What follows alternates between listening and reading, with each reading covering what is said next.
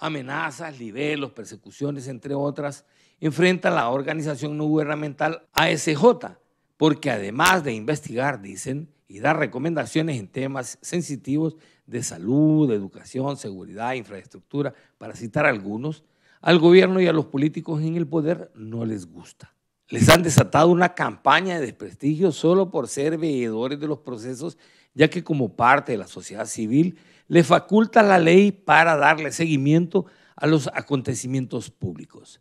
Mira, no quiero decir que es solo ASJ, pero es algo a lo que se puede enfrentar todo aquel que venga a criticar la gestión pública, ¿no? Es decir, que venga a criticar el gobierno. Sabemos que hay 18 mil organizaciones que están eh, registradas oficialmente en la DIRSAC, pero ¿cuántas conoce usted públicamente? Me atrevería a decir que, ni 20, ¿no? Que, hacen un, trabajo, un rol de, de incidencia. Entonces, en función de ello, si las organizaciones siguen trabajando fuertemente, siguen siendo críticas, siguen siendo frontales en contra de las decisiones que tome eh, pues el actual gobierno, pues no nos eh, limitemos a pensar de que solamente ASJ puede sufrir eh, estos ataques, estas críticas, inclusive amenazas, sino que se, se puede traducir a otras organizaciones también. Niegan que por años tuvieron vínculos o hayan recibido dinero de la administración nacionalista para hablar bien de sus programas o proyectos. Al contrario, eso más bien les confrontó con funcionarios de esa administración que despotricaban contra la ASJ.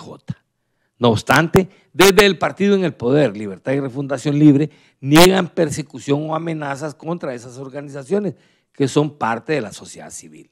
No, eso es completamente falso. Ustedes como medios de comunicación saben y pueden buscar a cualquier organización y nadie, nadie ha colocado ningún tipo de sesgo ni ha colocado ningún tipo de impedimento para que no se puedan pronunciar, a diferencia de otros gobiernos en los que se cerraron medios de comunicación, a diferencia de otros momentos en los que se persiguió a la prensa por el ejercicio de su función o se persiguió a personas y se utilizó el sistema de impartición de justicia para y criminalizar a la oposición política, a luchadores y luchadoras sociales o a las personas que pensaran diferente al régimen. En este momento las personas tienen absolutamente toda la libertad de expresar sus opiniones, sus cuestionamientos y sus reclamos al gobierno de la presidenta Xiomara. Sin duda que el haber cuestionado la recién decretada amnistía política para favorecer a algunos de sus simpatizantes, el manifestar su inconformidad con la ley especial para integrar una junta nominadora o pedir cuentas,